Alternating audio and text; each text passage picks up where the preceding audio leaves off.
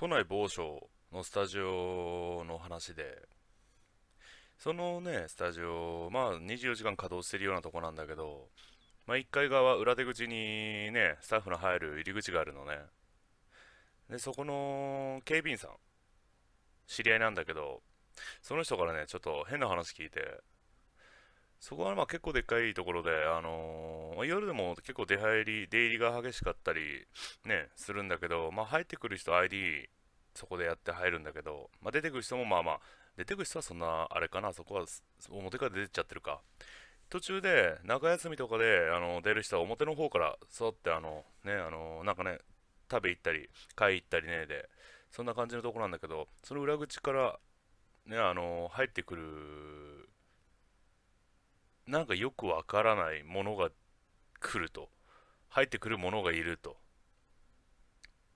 それはどういうものなの？って言ったら、とりあえず、まあ普通にガチャって、音がするんだって、そのドア開いたね。まあそっちから覗き込むと見える感じなんだね。その、まあ警備員さんだね。あの、うんと思って見るんだけどいないんだって。で、ドアの音が聞こえるんで、確かに結構大きめの音がするんだけど、ちょっと四角になってて、そのドアのところが。で、しばらくしたら、あのー、ガラスのその受け、受付っていうか、まあ、その、ガラス張りの、なんつったらいいかな、あのー、うんと、ちょっと変わってる、あれなんだけど、まあ、簡単に言ったら窓だと思って。中がけ、中に警備員さんがいるみたいな。そこの、ちょっと窓みたいなところから、ずっと誰がこっち見てるんだってね。あ、はいっつって、あのー、そっち行って、ふってそばに行ったらいなくなっちゃうのって。あれってなんか見間違えたかって。で、またね、あの、椅子の方なんか座って、書類、書類なんかなんかやってたらしいんだけど、で、気づくと、またなんか覗いてんだって。で、自分の顔がどうにか反射してんかって、なんか映ってるんかななんて言うんで見てたんだけど、何も、まあそういうこともなく、自分が動いても、まあその、その顔はそこにあるんだって。で、女の人だって言うんだよね。で、まあそこ行って、はい、何かって言ったら、いるんだって、そこに。あ、今度はいるなと思って。で、あのー、あれですかって。タスタジオの方ですか？みたいな感じで言ったらずーっと顔見てるんだけど、そのうち何にも言わないで戻ってっちゃった。あの、出口の方に行っちゃうんだってね。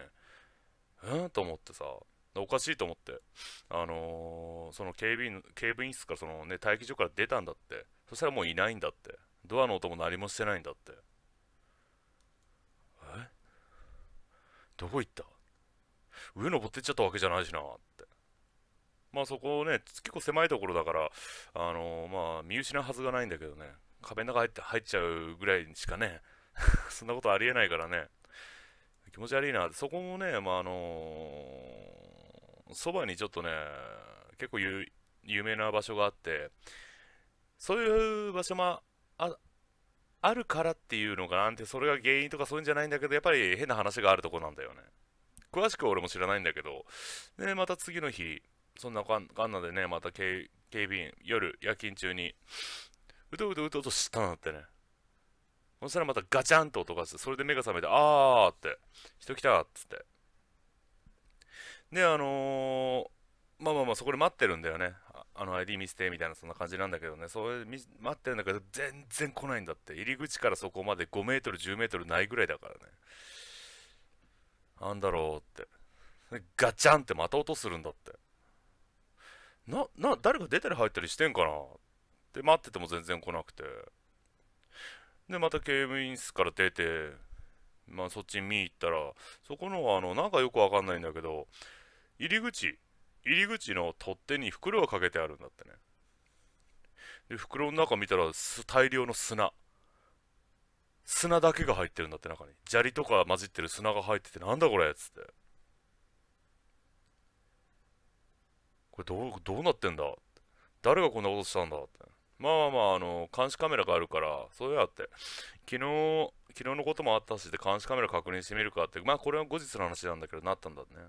で、その女の人が、あのー、ね、入ってくるところが捉えられてるんだけど、そのまま警備員さんが、まあそのね、ガラスにその女の人が映ってるから反射じゃないかなんて言ってる時なんだけど、なんか警備員さんがなんかブツブツ喋ってるのは入ってるんだよ。で、なおかつそこまで女の人が入ってきたのは映ってるんだよ、ちゃんと。俺も見たんだけど。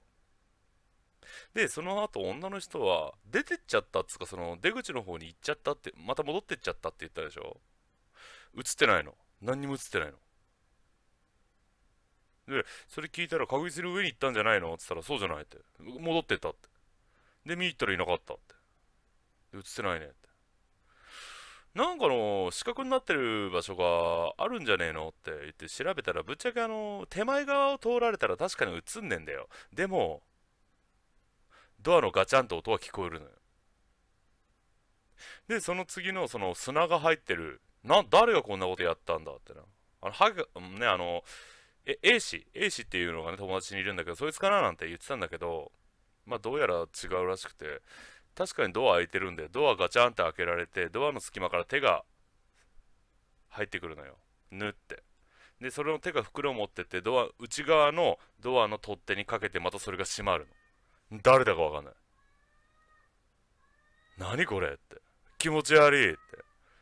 こんなんがあるからこんな話が出るんだろうに。つって。こういうことはよくあるのっつったらいやー俺は初めてだねなんて。言ってたけどね。ちょっとね。みみりんが。はい。そう。あのー、まあこんなん初めてだよって。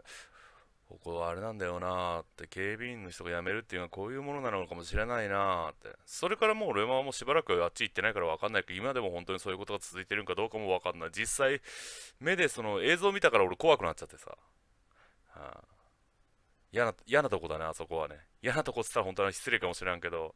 そちなみに俺が以前だからまだそのおっちゃんとね知り合いになる前だよね。そこ出入りしたことが一時期半年ぐらいあったんだよね。俺普通にさ、あのー、もう顔見知りだと思ってたんで、いつもそっちから入るから、お疲れ様ですって入ってったら、立ち入り、あの、関係者以外ここ立ち入り禁止なんですよって真顔で言われたことがあります。